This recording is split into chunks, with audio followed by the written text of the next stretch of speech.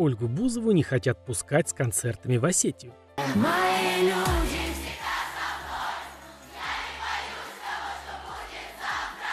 Дзамбалат Тидеев, чемпион СССР и Европы по вольной борьбе, главный тренер страны по этому виду спорта, на днях заметил в своем инстаграме, что предстоящее выступление скандальной певицы вызывает беспокойство жителей республики.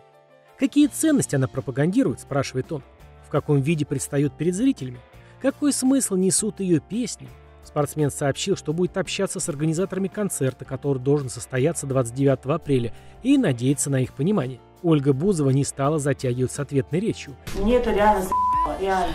Полностью зачитывать его не будем, чтобы не травмировать ваши уши. Весь смысл там сводится к тому, что, видимо, Дзамбалат Тидеев не смог достать билет на ее выступление, поэтому так расстроился.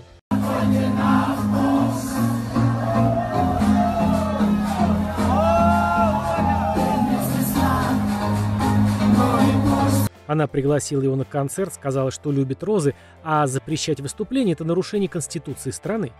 Всем остальным, желающим обратить на себя внимание, пишет певица, хочу посоветовать не заниматься ерундой и не решать за людей, кому и куда ходить.